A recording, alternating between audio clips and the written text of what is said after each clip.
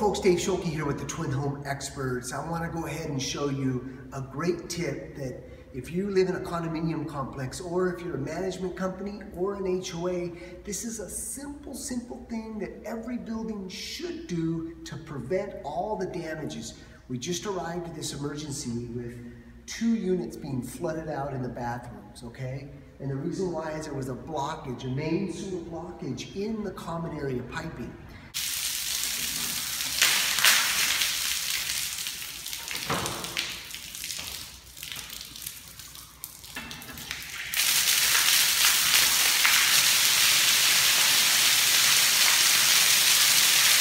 Look at that, folks. Massive amounts of sewage here. This is the stuff that was going inside the units above.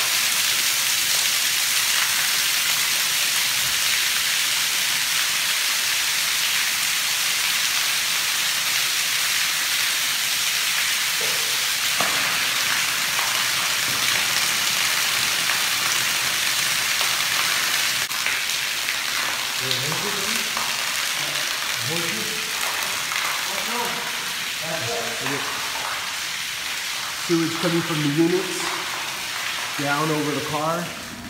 All right, guys, so all that sewage down below pressurized back up into these two bathrooms over here. This is the damage that those type of uh, sewage clogs do. Come on in.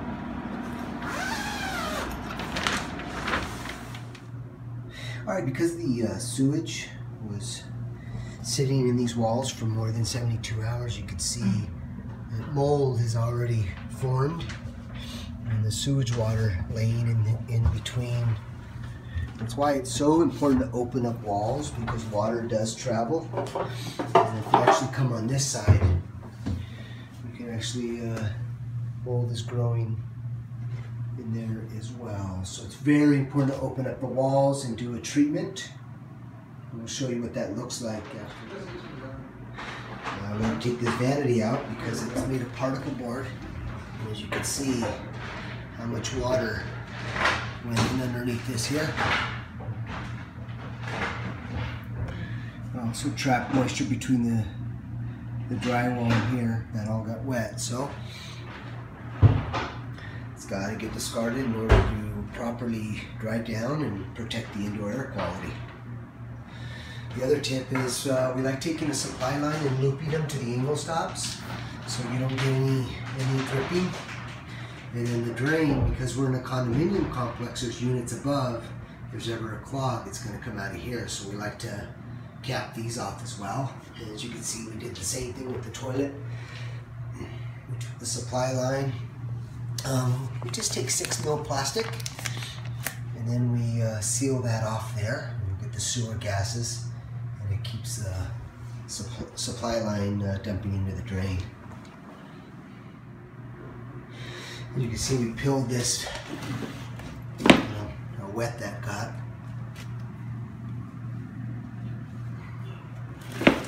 It's just falling apart there. So look at how wet the back side of the cabinet was.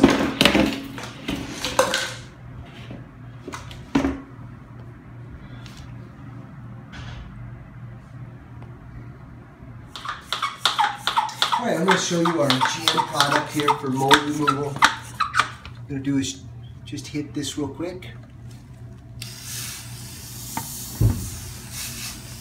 This is amazing product. It soaks into the um, substrates of the material. Actually just start dissolving.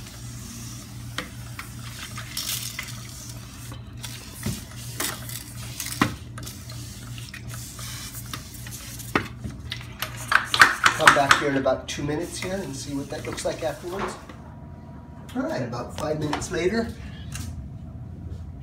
you can see uh, it's completely clean and sanitized. So now we're gonna go ahead and uh, set up our dehumidifier. This is gonna be the most important piece of equipment here. What this will do is ex extract all the moisture from the studs. And then after we get the wood and inside these walls dried down to a minimum of 20%, we can come in here and start treating everything and sanitizing. With sewage, we use an enzyme type of product That breaks down the bacteria, kills the viruses and all that. And we'll set this up for about three days.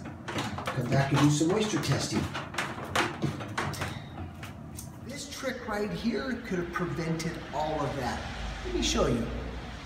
All right, folks. So right here, we're at the end of the line. This is obviously the lowest point. But if this is tight, what's going to happen is the sewage is going to rise and then go through the wax seals of the toilet or the tubs or showers. So what I recommend in a building is have this as an automatic pop-off. So the sewage goes in the garage, preventing major damage into the unit. Thank you.